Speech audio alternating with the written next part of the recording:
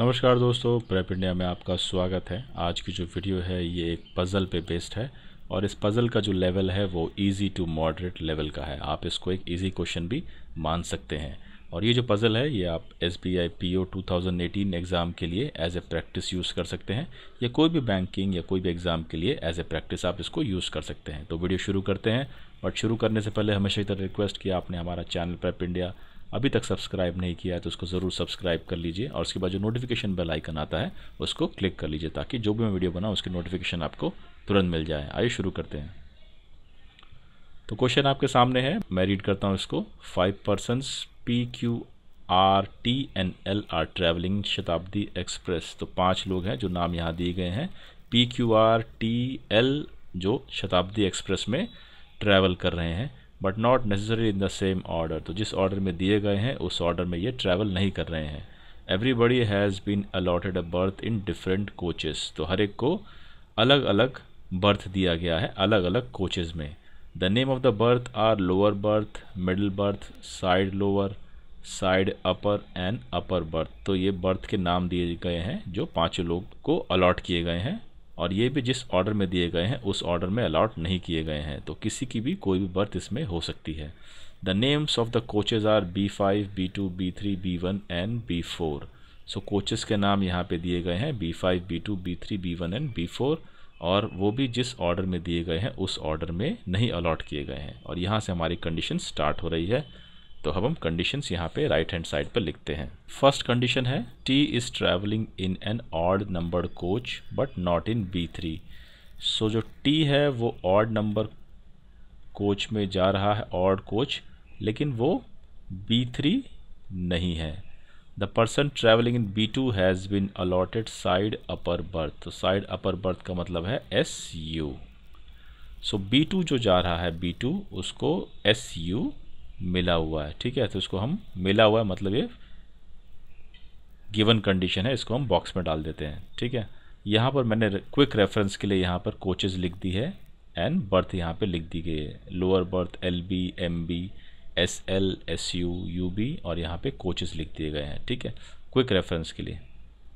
Second condition लेते हैं। R is travelling in an odd number coach and T has been allotted side lower berth जो R है, वो odd number coach में जा रहा है ऑड कोच और टी है, उसको साइड लोअर बर्थ दिया गया, यानी एस एल दिया गया है। तो इसको भी हम इसमें डाल देते हैं। थर्ड कंडीशन लेते हैं Q is travelling in an even number coach so Q जो है, वो ईवन कोच में जा रहा है।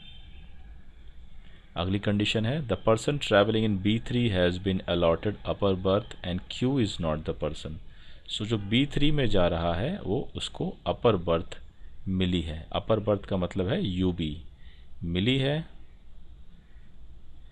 लेकिन जो आदमी है वो क्यू नहीं है। वो जो आदमी है वो क्यू नहीं है, ठीक है?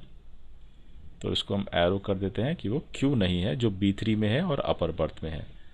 कंडीशन फिफ्थ लेते हैं। The person traveling in B1 has been allotted lower berth, but T is not the person. तो सेम इसी तरह से जो B1 में जा रहा है, उसको लोअर बर्थ मिली है।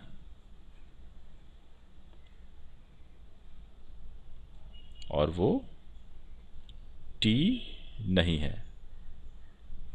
सिक्स कंडीशन लेते हैं। L has been travelling in B two and has been allotted side upper berth जो L है वो बी टू में जा रहा है और उसको मिली है साइड अपर यानी एस यू उसको मिला है। तो इसको हम कंफर्म कंडीशन है, इसको हम बॉक्स में डाल देते हैं।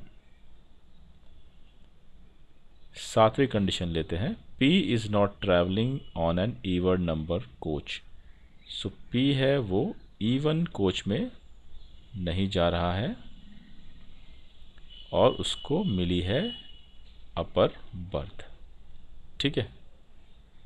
तो हमने सातों कंडीशन यहाँ पे लिख दी है। आइए अब हम इन कंडीशन से पज़ल को सॉल्व करते हैं। तो ये सारी कंडीशंस जो थी, वो हमने यहाँ पर लेफ़्ट हैंड साइड में पेस्ट कर दी है। हम एक टेबल बना लेते हैं, जिसमें हम इस पज़ल को सॉल्व करेंगे।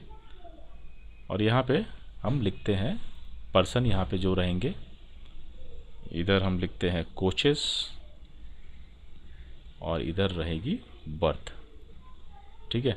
तो कौन कौन से पर्सन हमें दिए गए थे? P Q R T L okay तो अब हम कंडीशन यहाँ लिखते हैं। टी जो है वो ऑड कोच है लेकिन बी थ्री नहीं है। सो so, टी है वो ऑड कोच है नीचे लिख देते हैं बट वो बी थ्री नहीं है। ठीक है? बी टू एस यू कहाँ है? नहीं मालूम है। आर ऑड कोच है ये लिखते हैं। सो so, इसको टिक कर देते जो हमने किया है। आर ऑड कोच है। ऑड कोच है। टी जो है एस एल है। सो टी है, ये एस एल बर्थ यहाँ पे दिया गया है। ठीक है? तो ये भी कर दिया है।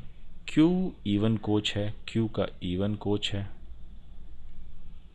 बी थ्री यू बी में है, लेकिन क्यू नहीं है। यानी क्यू बी थ्री में नहीं है और यू बी में नहीं है। सो क्यू बी थ्री में नहीं है और यू बी में नहीं है। ठीक है?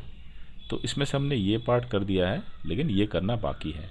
Same B one L B और टी नहीं है, यानी एल बी जो है बी वन में है, लेकिन वो टी नहीं है। सो टी बी वन में नहीं है, यहाँ कर देते हैं बी वन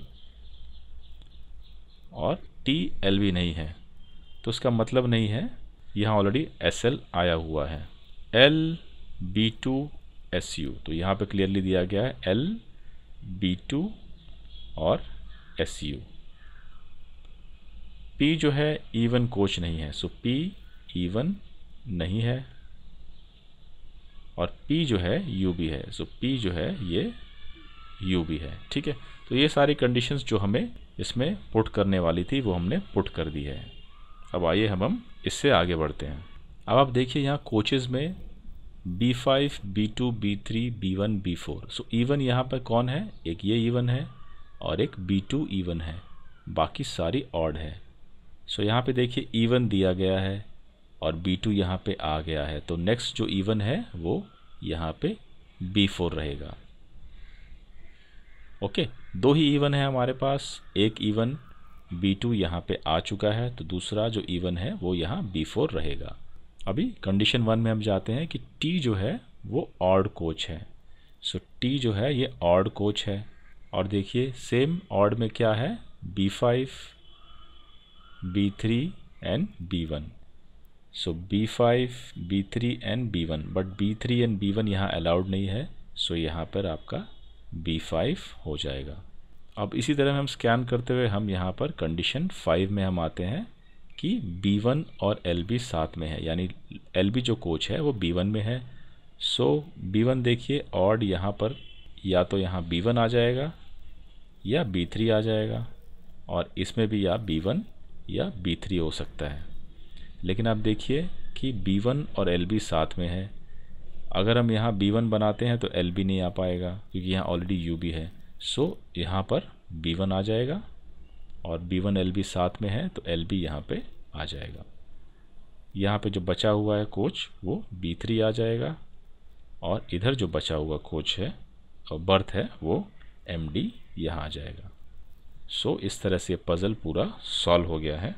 हमारे पास इससे क्वेश्चंस नहीं है बट एक बार आपका पज़ल सॉल्व हो गया है तो आप क्वेश्चंस जो भी दिए गए हैं उसको आसानी से सॉल्व कर सकते हैं। तो इस वीडियो में इतना ही फ्रेंड्स आशा करते हैं आपको वीडियो पसंद आई होगी।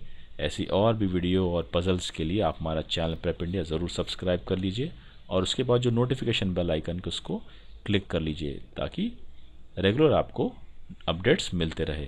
वीडियो अच्छी लगती है तो उसको शेयर और लाइक आप ज़रूर करिएगा। मिलते हैं आपसे अगली वीडियो में। तब तक के लिए नमस्कार and thank you very much for watching the video